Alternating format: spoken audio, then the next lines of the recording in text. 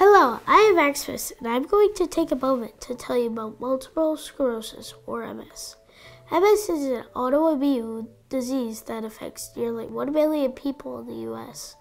The cause of MS is unknown. The disease attacks the nerves of the body, making it hard for the brain to tell other parts of the body what to do. It causes some people to lose their feeling in their arms and legs, and can cause some some people to lose their ability to walk. My friends Jan and Jennifer both live with MS, and I want to help them. There's no cure for the disease, but I can help raise money for the research and programs to help people like Dan and Jennifer living with MS. This spring, I will once again be joining their team, Team Monster and Frankenmuth at the Walk MS event.